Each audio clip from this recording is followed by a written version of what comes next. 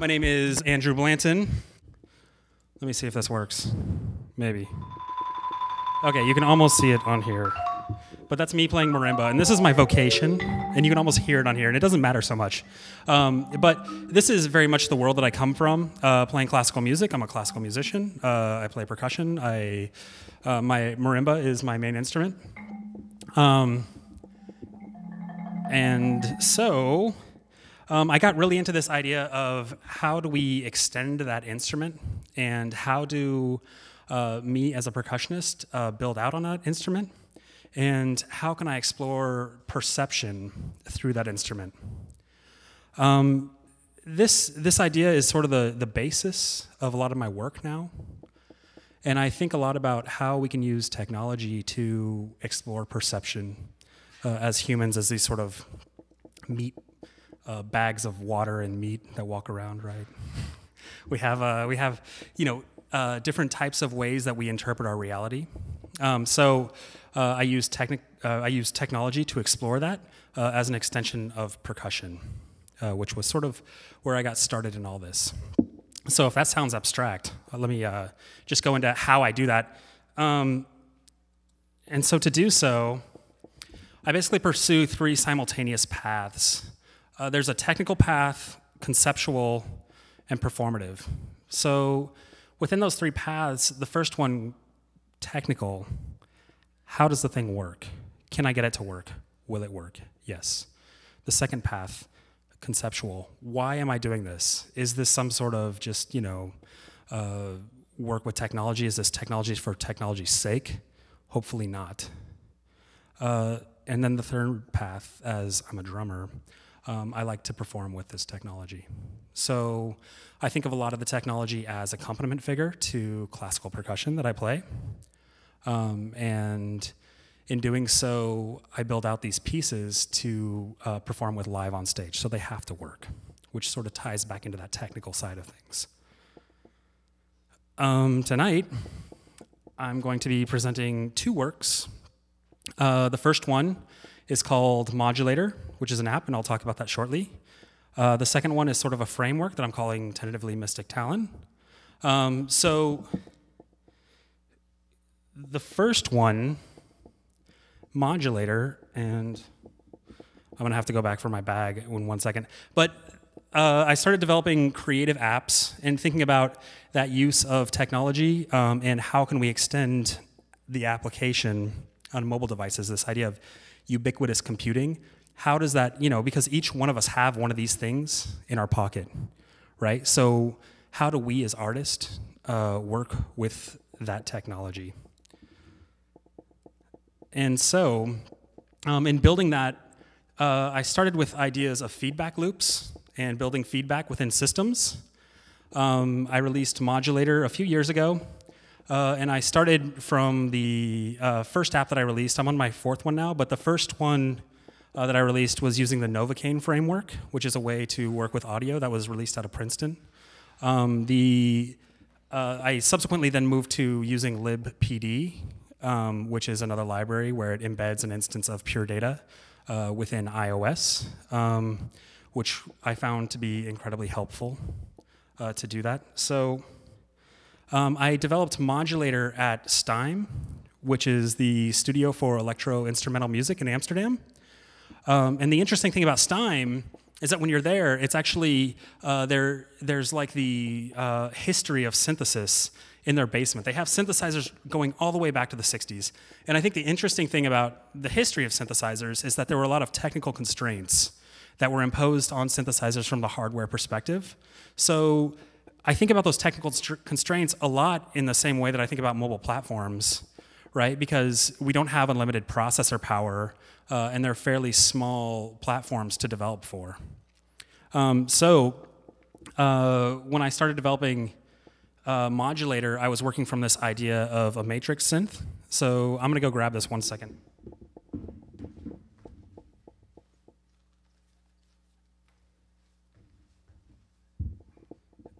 So, in working from this idea of a matrix synth, Um, one of the one of the principles of a matrix synth, anyway, was that um, if you if you have limited resources uh, within your hardware platform, uh, you can actually combine synthesizers together to get novel synthesizers, right? And that was one of the approaches that I took in building the underlying framework uh, for for modulators. So, um, I guess more interestingly than me talking about it is to begin to show you. So if you can see, I'm not sure how well you can see up here, but it sort of has that same look as a matrix synth, right? So I'm using the same type of idea.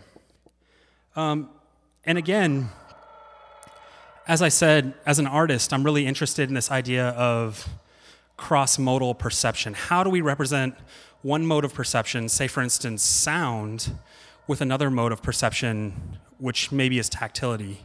So in this, I was looking at actually touching the sound waves without touching the device. And in fact, uh, I think you can hear this out there, that this is all real-time sound manipulation. So in my practice as a drummer, I got really into extending the voicings of these instruments, right? Uh, in development of creative applications and using these devices for something that maybe they're not necessarily meant to do, uh, I, was I was interested in extending beyond the boundaries of this device and thinking about how we could use these in maybe novel and performative ways. Um, the other sort of important component of these is that these devices, for me, are more like a bucket of sensors, right? So there's all sorts of things, and and maybe from a performance perspective, can we end up tapping into the pitch, bend, and yaw of these devices, right? If we think about this being in 3D space, then how does this device interact with this 3D space that it's immersed in? So, yeah, if you guys have any um, any questions about that, uh, you know, I can certainly uh, show you uh, the app, and that's uh, in the App Store at M0DULADOR. Um, but I do think I do think uh, this idea of how do we use technology in a critical way, and how do we actually use technology in a way that's a bit more than maybe just a celebration of what these devices can do, because they're really powerful. But how do we as artists begin to take these devices and expand beyond maybe what their intended use is, and how do we reappropriate this technology for something a bit more interesting? So. Um, next, I guess I'm going to move on to uh, this framework that I've been building, which is uh, tentatively called Mystic Talon. And um, as I was saying, this is really a framework for performance. So um, I did so by using uh, the Unity game engine plus Max MSP as sort of like an extension of Unity as maybe an advanced controller, if you think of it that way. Um, and I began to build basically art pieces within Unity in 3D space. Um, and I was doing so by uh, visualizing sound um, or maybe making objects in 3D space and then manipulating those objects with sound and then taking those objects and then extracting sound out of those objects. So these are a lot of, uh, basically, I would call them visual synthesizers um, in that same way. Um, and you can see sort of some of the demonstration of what the visual might look like, and I'll show some of this later um, uh, once I'm done talking here.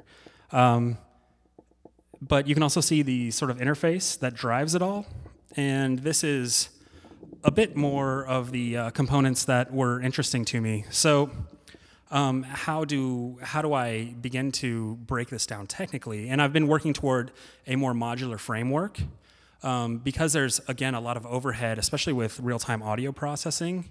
Um, I've been building out sections of my patch in real time, um, and that you can see here uh, once the patch is un unlocked. Um, I'm more interested in using like really a modular design and using like the this patcher object to build out sections in real time and then take those away in real time also as I don't need them.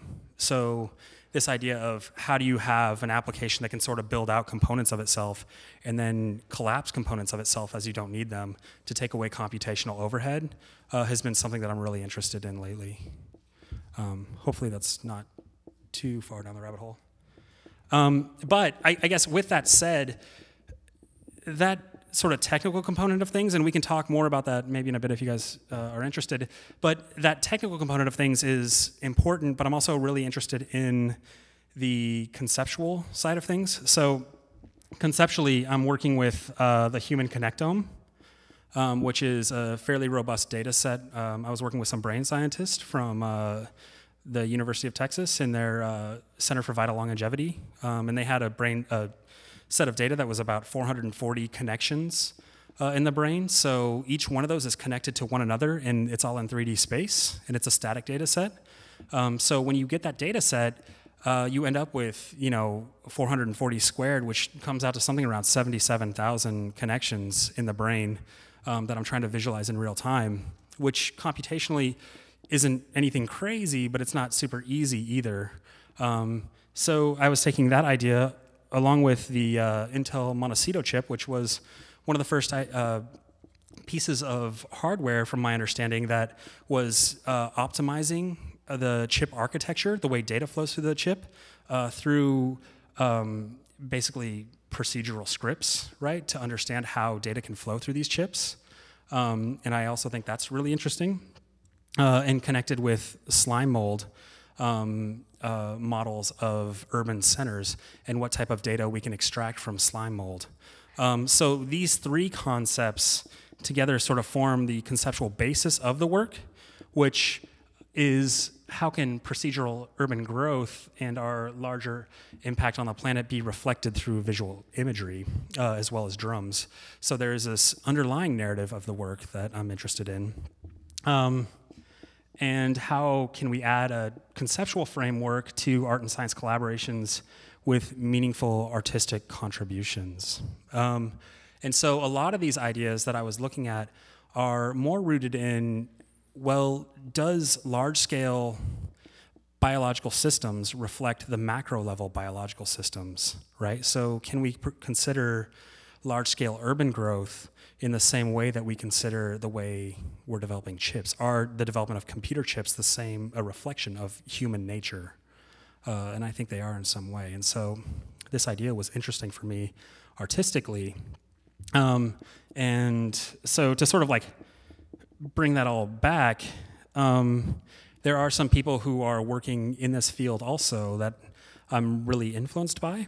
Um, artists such as Dan Sandin and Phil Morton, uh, who are did really interesting work, or currently doing interesting work as well, but did really interesting work in the 70s uh, in Chicago with visual synthesizers. Um, Noisefold, who I think is uh, amazing and one of my uh, teachers, um, who also builds visual synthesizers, and I started learning about this same idea from. Um, Lillian Schwartz, who I think her work is uh, exquisite. Um, yeah, Ruth Leavitt, who also was uh, early pioneer in computer art. So how does this reflection, how do we have early work that was happening in Fortran reflect onto what contemporary discourse is happening now? Um, and how is this discourse changing and evolving over time? Um, and also uh, Gregory Bateson in cybernetic theory. So how can we have multiple systems of feedback loops working together uh, to create larger systems these sort of cybernetic systems um, that you have data flowing throughout. So, again, with a lot of the pieces that I'm working on, uh, I've been focusing on this idea of building feedback systems and multiple feedback systems that are uh, connected together, as you saw with the app, uh, and you'll see shortly with the drums. Um, so, I'm going to uh, quickly play, maybe just do a demo. I'm not really going to play much of these pieces, but just the uh, introduction of these two different sections of the same piece, and uh, hopefully uh, you guys can get a little taste for the stuff that I'm doing now.